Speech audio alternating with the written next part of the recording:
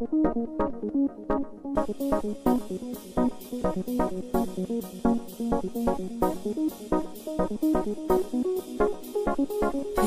that can change the world, trapped inside an ordinary girl. She looks just like me, too afraid to